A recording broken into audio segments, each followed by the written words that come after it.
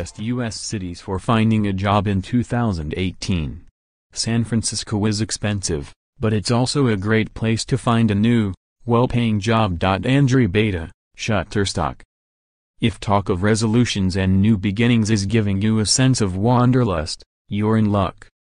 There are tons of cities perfect for getting a fresh start and snagging a new, well-paying job. To find the 20 best cities for finding a job in 2018, personal finance site WalletHub compared 182 of the most populous U.S. cities based on 26 metrics, like job opportunities, employment growth, monthly median salary, unemployment rate, average work and commute time, and housing affordability, among other metrics. Each metric falls into one of two key dimensions, job market and socio-economic environment, with greater weight assigned to metrics that fall under the job market category. To read more about the study's methodology, check out the full report here. Continue scrolling to see the 20 best U.S. cities for finding a job in 2018.